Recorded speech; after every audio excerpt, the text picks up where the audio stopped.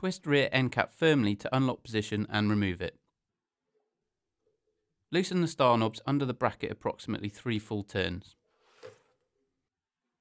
Connect the XLR tail from the Connbox and place your mic into the lyre clips. The lyres have a soft grip to avoid noise and damage on the mic body and the interference tube. There is no problem in gripping the interference tube as long as the rear ports of the capsule are not obscured. Retighten the star knobs under the bracket. Okay, let's listen to the MKH416 and see how the lyres perform.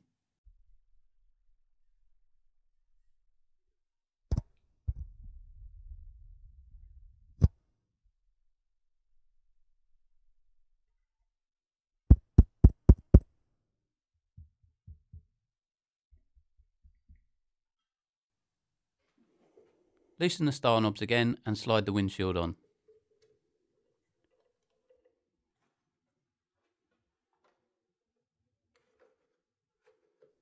If the spine sticks, loosen the star knobs a little more to free up the filler strip.